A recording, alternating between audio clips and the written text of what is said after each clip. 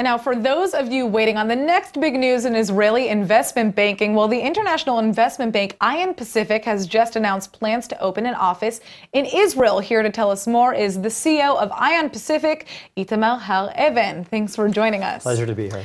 All right. So, first of all, uh, talk to us a little bit about what your bank does specifically. Is there a specific industry that you focus on investing in? We do entirely high tech. We're a bridge from Asia to the rest of the world in the innovation economy. Sometimes we're investing, sometimes we're helping other people invest and figure out what they should be interested in in order to build their own future. Interesting.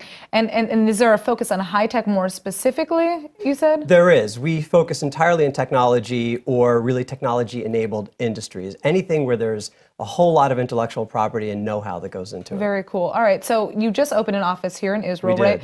Uh, why did I mean I can guess why, but why did you choose Tel Aviv as, as a new center? Well, for us in Asia, uh, the Israel story really is new there, at least new to them. So Israel's been fantastic in terms of penetrating the U.S. and Europe, but in Asia, Israel's still a new frontier, and there's such amazing technology here that it's sort of incredibly attractive to us to bring some of that into our part of the world. Right, and we're seeing a huge uh, interest from China, more specifically in investing in businesses here in Israel. Um, you know, are you focusing on Israeli uh, technology or businesses more specifically now as a result of opening this office? Oh, for sure. In fact, it wasn't something where we woke up one day and decided that we should be here. It was time and time again, right. people were asking us to use our contacts that we had here anyway to help them come here. And it wasn't just about China, it's Japan, it's Korea, it's even some of the Southeast Asian countries are, are pushing us to open an office here. And so we're just doing what our customers and friends want us to do. All right. Well, everybody should keep their eye out for your company. Thank you so much for joining us. I appreciate us. that. Thanks.